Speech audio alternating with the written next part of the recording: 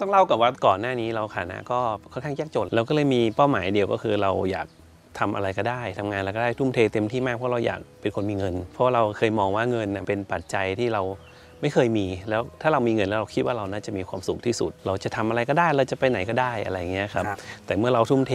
เกี่ยวกับการทำงานแบบเต็มที่มาก ๆ แล้ว เราเติบโตในหน้าที่การงานครับเราได้เงินเดือนสูงแล้วว่าเมื่อไปถึงจุดหนึ่งมันกลับกลายเป็นว่าอืมรู้สึกว่ามันก็ ไม่ได้ตามไม่ได้เหมือนที่เราคาดหวังหรือเราคิดไว้ตั้งแต่แรกเลยอะไรเงี้ยเราก็มีคำถามแล้วว่าชีวิตเราเกิดมาทำไมกันแน่ เป็นจุดตั้งต้นของทุกเรื่องทั้งหมดเลยครับ แล้วผมก็ตอบตัวเองไม่ได้ว่าเกิดมาทำไมณวันนั้นเพราะเรามีเป้าหมายเดียวอย่างที่บอกครับณวันนั้นเราแค่ต้องการเป็นคนมีเงินคนหนึ่งเป็นคนรวยอะไรเงี้ย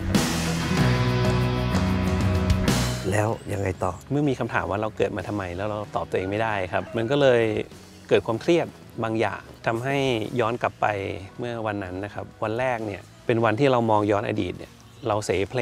เรากินเหล้าเราเที่ยวกลางคืนพี่ดูไม่เห็นน่าจะเป็นคนแบบนั้นเลยนะฮะมามองตอนนี้ไม่มีทางเหมือนแน่นอนครับ เพราะว่าเวลาเราเคยบอกว่า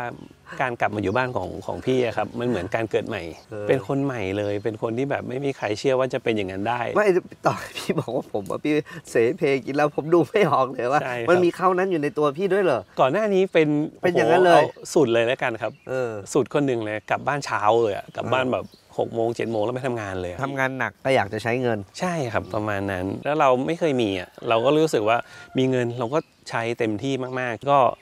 วันแรกคิดถึงอดีต วันที่สองก็เริ่มคิดถึงอนาคตแล้วว่าแล้วต่อไปเราจะเดินยังไง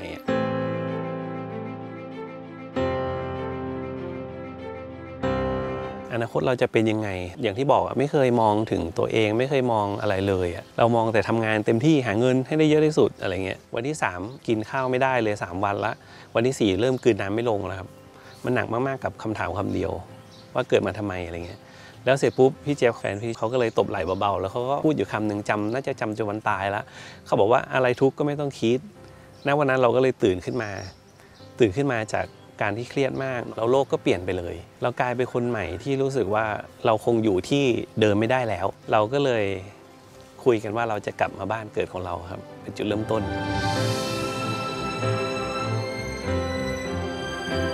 ดี๋ยวก่อนนะฮะ คือต้องทำความเข้าใจก่อนว่าการทำงานที่บริษัทแท่นขุดเจอดน้ำมันที่ได้เงินเดือนเยอะ ไม่ใช่สิ่งที่ผิดนะ ใช่ครับ แต่เป็นสิ่งที่ไม่ใช่สิ่งที่พี่ต้องการในชีวิต ใช่ครับ เมื่อเราไปอยู่ในจุดที่เราไม่ต้องการในชีวิต มันก็เลยทำให้เรารู้สึกว่ามันกำลังสวนทาง ใช่คกับรับไอ้ความต้องการในชีวิตอยู่ ใช่ครับ และไอ้ความต้องการในชีวิตจริง ๆ ที่จะทำให้เรามีความสุขได้หรือทำให้เราตอบโจทย์คำว่าเกิดมาทำไมได้เนี่ยทำไมต้องกลับมาบ้านครับ มันเกี่ยวอะไรกันครับ ก็